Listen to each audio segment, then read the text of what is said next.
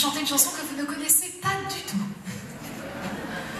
On peut, toujours essayer. Et c'est une chanson qu'on a écrite avec, David et Hello, et c'est une chanson complètement inédite. Alors, si jamais, euh, d'aventure, vous deviez aimer cette chanson, tapez 1.